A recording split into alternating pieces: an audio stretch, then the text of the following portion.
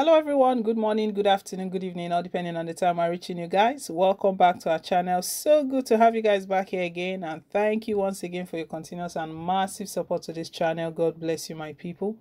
We really appreciate you for your support and we pray that even as you support this channel, God Almighty will support you in whatsoever you lay your hands to do. In Jesus' name, amen. Thank you once again guys. Yes, my people, as always, we're back again with latest and most authentic happenings in the country Poll. Court can't declare winner.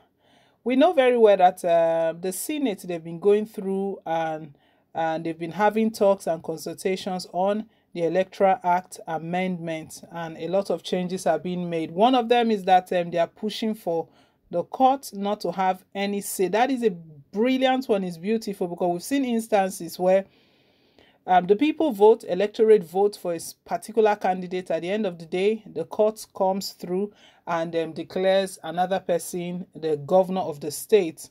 Hope Uzodinma is one of the recent, and we've seen that um, the people have rejected him, although he's still the governor of the state. But we know that the people are not happy with that judgment. Questions are still being asked that how did someone who uh, uh, took fourth position in the election becomes the governor of the state? How does he become first? We need to get to the, the, the, the level where even Goodluck Jonathan, the former president, has stated that he doesn't understand we should come to that era where courts don't decide the winner of an election. If there's any issue, any concern, or any uh, malpractice or anything raised, then all the court can do is uh, um, declare that um, there should be a rerun and the electoral body that is responsible for that is INEC. They have to conduct the election again. But what we see happening is that the courts, they have the say once um, there are issues with the election, courts just um, decide. And guess what? Who controls the courts? Whoever controls the court um, gets upper hand, meaning that the people are left out. The, the decision of the people, the choice of the people, the voice of the people are not heard at all. Wow, this is a brilliant one. What um, uh, um, Senate are proposing, the sort of recommendation they are trying to put through. We'll bring you all of the details in a moment, but before we do, guys, please don't forget to like, share, and to subscribe. Thank you once again. Courts are to be barred from declaring winners of elections if the recommendations of the Senate Committee on Electoral Act Amendment scales through. In the proposal, courts will only be able to order a fresh election if it finds an election to be flawed. Tribunals will be expected to hear and dispose of an election petition within 180 days. The Court of Appeal will also, as it subsists, have 90 days to decide on election matters. Sources close to the panel said the members have already voted and agreed on this proposal.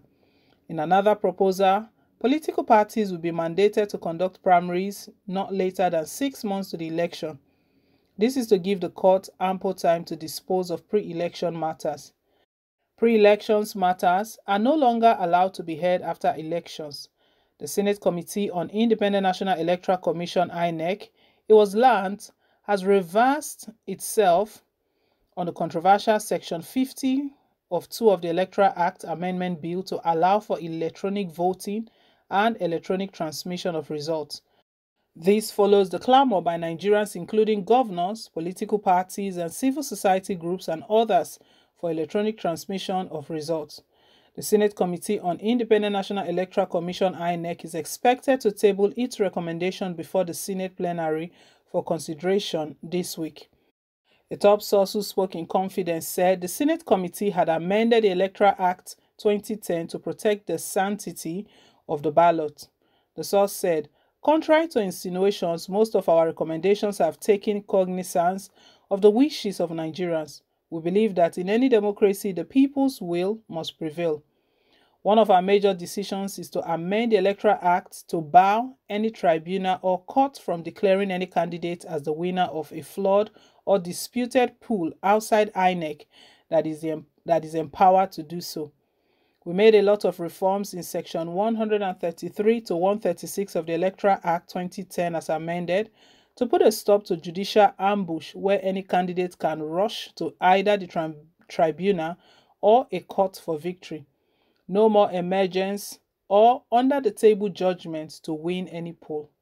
Instead of declaring a candidate as winner of a substantially flawed election, The tribunal or court can only order INEC to conduct a fresh poll in the affected constituency district or state. We want the will of the people to prevail. Whatever is decided by the people through a free and fair poll will be the minimum benchmark. On pre-election matters, the source said the Senate committee has found a solution to it by making it mandatory for all political parties to conduct their primaries about six months to the general election.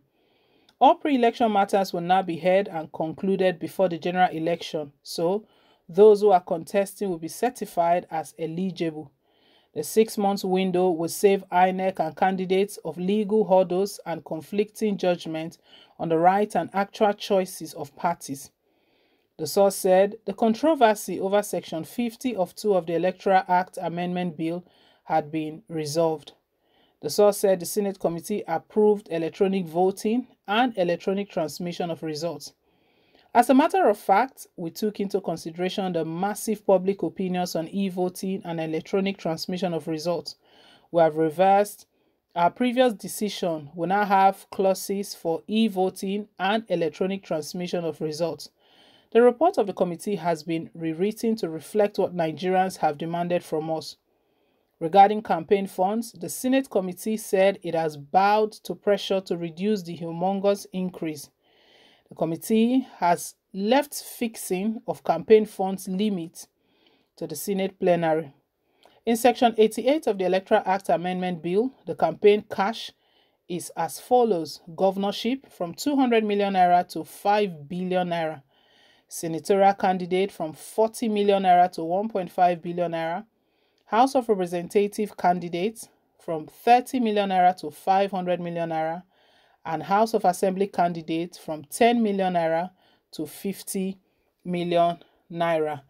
Well, regarding the court being barred from um, declaring a candidate the winner of an election or a governor of the state, that is uh, that is a great move. It's very commendable and um, it's something yes something that will push the country in the right direction because the people has to choose when the court declares um, candidate winners that's not the vote of um, it's not the voice of the people not the will of the people shutting the people out totally and there's no uh, um, trace of um, democracy in that. So that is quite beautiful. We're just waiting and hoping that will happen eventually. We know there are still um, some uh, controversies surrounding INEC's um, statement about um, e-voting, electronic voting, and even the electronic transmission of results.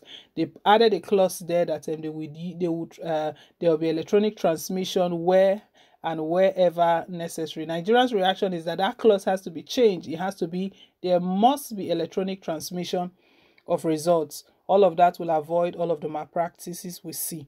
Well, guys, let's hear your thought down below in the comment section. Thank you once again for staying tuned.